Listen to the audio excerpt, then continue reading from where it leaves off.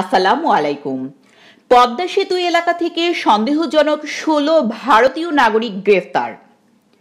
পদ্মা সেতু এলাকা থেকে গত সাড়ে চার বছরে ষোলো ভারতীয় নাগরিককে গ্রেফতার করা হয়েছে।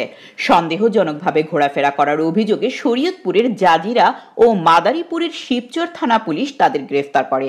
এই ব্যাপারে তেরোটি মামলাও হয়েছে। পুলিশ কর্মকর্তারা জানিয়েছেন, গ্রেফতার ব্যক্তিদের বেশিরভাগই পাগলের মতো আচরণ করেছেন। তাদের কয়েকজন নিজের নাম পরিচয়ও বলেননি। শরীয়তপুর জেলা পুলিশ জানিয়েছে, গ্রেফতার ব্যক্তিদের প্রাথমিক জিজ্ঞাসাবাদের পর অবৈধ অনুপ্রবেশের অভিযোগে মামলা করে তাদের আদালতে পাঠানো হয়।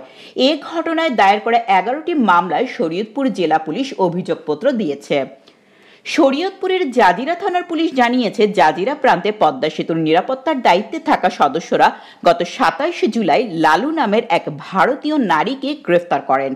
তার আগে পঁচিশ জুন গ্রেফতার করা হয় রূপসা রায় দীপককে।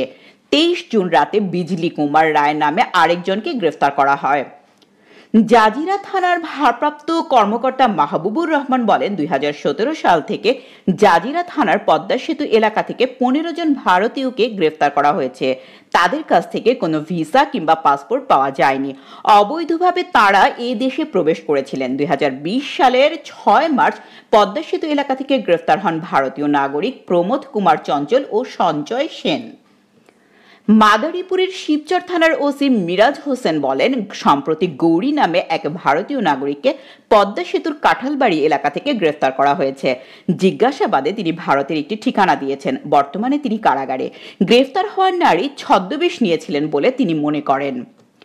আইন শৃঙ্খলা রক্ষাকারী বাহিনীর কর্মকর্তারা বলেছেন, এসব লোকজন কেন পদ্মা সেতু এলাকায় ঘোরাফেরা করছিলেন তার কোনো কারণ জানা যায়নি। জিজ্ঞাসাবাদে তাদের কাছ থেকে তেমন কোনো তথ্য পাওয়া যায়নি।